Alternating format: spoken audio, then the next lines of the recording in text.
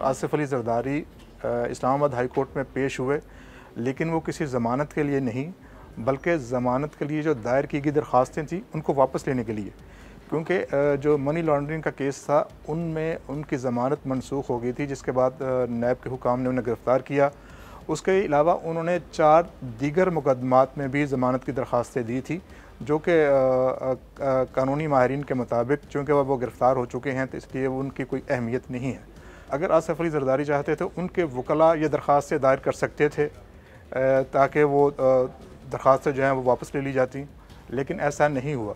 کیونکہ اگر وہ ایسا کرتے تو نہ تو خبر بنتی اور نہ ہی اسلام آباد ہائی کورٹ میں ان کی آمد کے سلسلے میں جو مختلف شاہراہوں کو بند کیا گیا ہے اس کی وجہ سے جو لوگوں کو پریشانی ہوئی ہے وہ بھی نہ ہوتی۔ کیونکہ وہ ایک سیاسی آدمی ہے اور وہ خبروں میں رہنے کا ہنر جانتے ہیں۔ اچھا جی اب ذرا بات کر لیتے ہیں کہ آصف علی زرداری کے خلاف جو مقدمات ہیں وہ ہیں کیا؟ ایک تو جس مقدمے میں وہ گرفتار ہیں، وہ تو منی لانڈرنگ کا ہے یعنی جعلی اکاؤنٹ سے جو رقم جو ہے وہ منی لانڈرنگ کی گئی ہے، اس کے اس بارے میں ہے۔ اس کے علاوہ دو اور ریفرنس ہیں، جن میں پاک لین میں جو کمپنیاں بنائی گئی ہیں وہ ہے، اور اس کے علاوہ جو بلڈ پروف گاڑیاں ہیں، اس سے متعلق بھی ایک ریفرنس ہے۔ اور جاری اکاؤنٹس کا معاملہ یہ نہیں ہے کہ یہ اچانک ہی منظر عام پہ آ گیا، ایسا نہیں ہے۔ بلکہ سن دو ہزار سولہ میں جب پاکستان مسلم لیگ نواز کی حکومت تھی، اس دور میں یہ ایک مقدمہ چل رہا تھا بینکنگ کورٹ بینکنگ کورٹ میں کراچی میں جس میں یہ چیزیں سامنے آ رہی تھی کہ اربوں روپے کی ٹرانزیکشن ہوئی ہے، جس میں جو ہے وہ پاکستانی جو اربوں روپے ہیں، وہ بیرون ملک بھجوائے گئے ہیں۔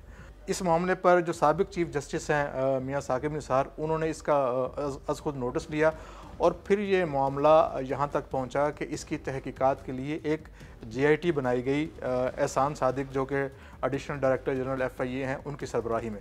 اور انہوں نے جو سپریم کورٹ میں رپورٹ دی، اس کے مطابق انتیس ایسے بینک، جعلی بینک اکاؤنٹس کا پتہ چلا ہے جن میں سے ان کے بقول ایک سو ارب روپے سے بھی زیادہ کی رقم جو ہے اس کی منی لانڈرنگ ہوئی ہے۔ تو جب جے آئی ٹی کی رپورٹ سامنے آئی تو پھر اس کے بعد عدالت نے یہ حکم دیا کہ اس معاملے کو جو ہے نیب کو بھیجا جائے اور نیب جو ہے اس بارے میں جو ریفرنس جو ہے وہ دائر کرے۔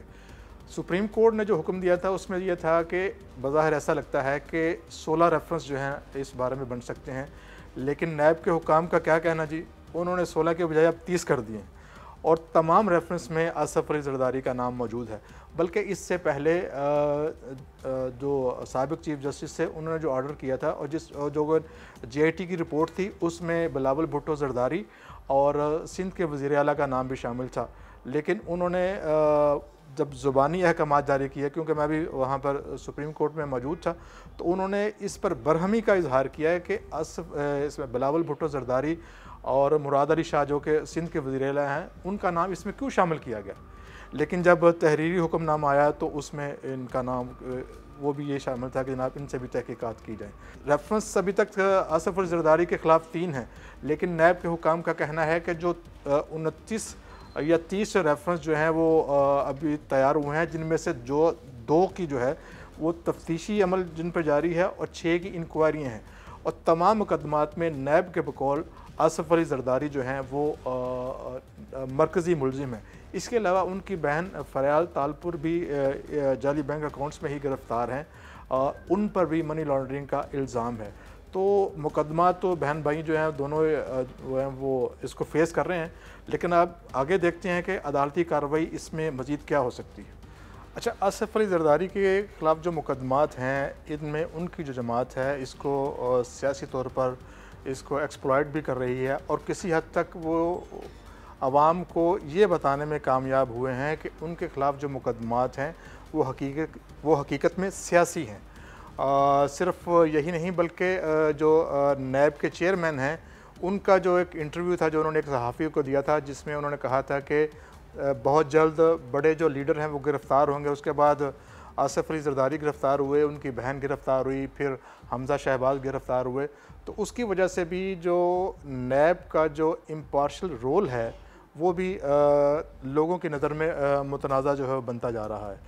اب چونکہ آصف علی زرداری جو ہیں وہ رکن قومی اسمبلی بھی ہیں اور بجٹ کا اجلاس جو ہے وہ جاری ہے، تو ان کے پروڈکشن آرڈر جاری کرنا بھی ایک بڑا مسئلہ تھا۔ ایسا نہیں ہے کہ جناب سیشن میں ان کے پروڈکشن آرڈر جاری کر دیے، بلکہ اس کے لیے پاکستان پیپلز پارٹی کے جو ارکان قومی اسمبلی ہیں، انہوں نے قومی اسمبلی کے سپیکر کے آفس کے باہر ایک دھرنا دیا تھا، جس کے بعد اسد کیسر جو کہ قومی اسمبلی کے سپیکر ہیں، انہوں نے وزیر اعظم سے ملاقات کی تھی اور ان کی رضامندی کے بعد ہی آصف علی زرداری اور خواجہ سعد رفیق کے پروڈکشن آرڈر جو ہیں وہ جاری ہوئے۔